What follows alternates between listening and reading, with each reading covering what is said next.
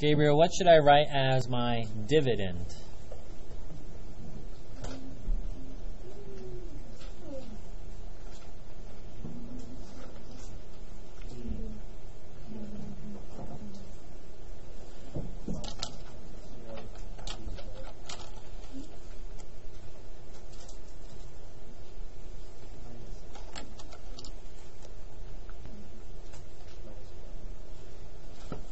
You must have that placeholder. Raise your hand if you got that.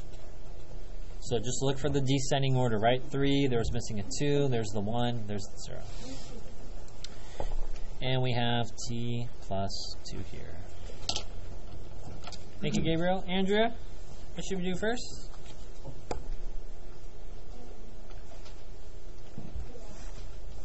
Divide. Okay. How many times does t go into t to the third? T squared. Now what, Andrew? Okay, go ahead and multiply.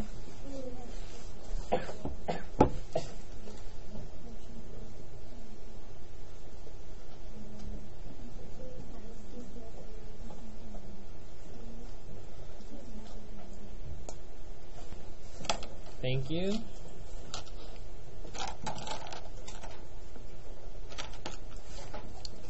Uh, Kimberly, what's next?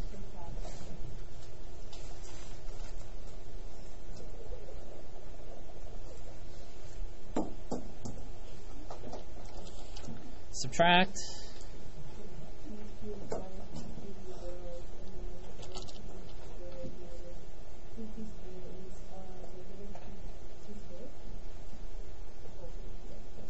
What do you want to? What do I put here? Positive or negative?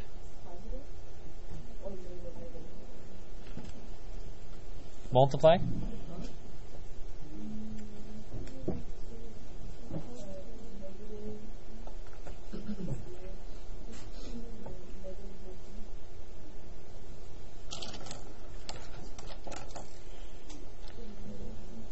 I'm not sure if students are clamoring about this part. Remember, that's 0 minus 2. That gives you the negative 2.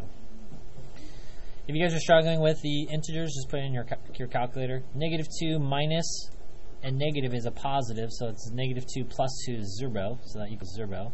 Negative 6 minus a negative 4, so the opposite of negative is plus, so negative 6 plus 4 is t. I get negative 4. t goes into negative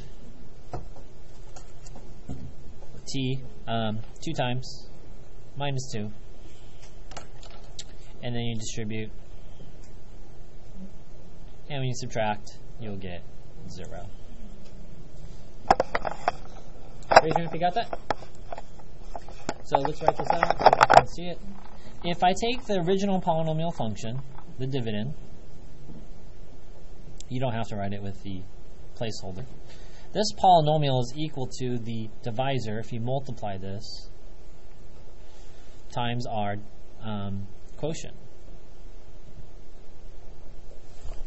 Okay? So again, the main idea is that we divided by this, so if you divide this on both sides, you put t plus 2 right here. When you divide it, you get this. If I divide, if I move this over to the other side, you'll be left with t plus 2.